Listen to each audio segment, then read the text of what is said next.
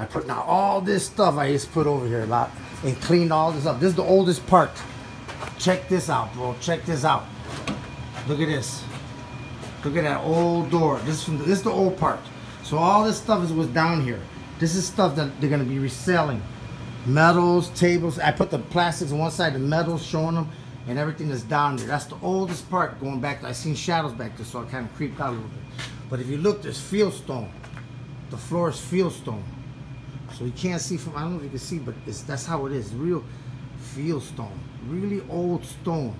And there's all kinds of, metal detector needs to come down here because there's stuff hidden down here.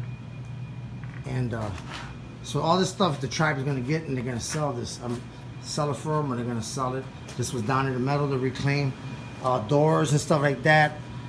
Cardboard, plastics over here, metals, industrial waste, reusable uh, furniture and stuff for the house, signs. There's an old chalkboard, really old chalkboard back there, and old lumber, which is big time now, old lumber.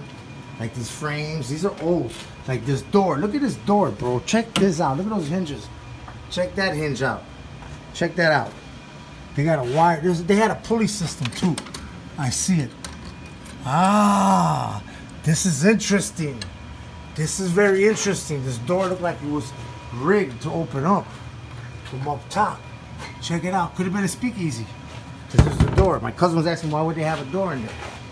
But this is where the old building, the old structure from long ago started, ended. And this is where the new one starts back there. So this is interesting. I'm looking to. So again, I'm underneath the Dakota Nation Industries in Sisseton, South Dakota, and we're doing uh, some work down here. So check it out.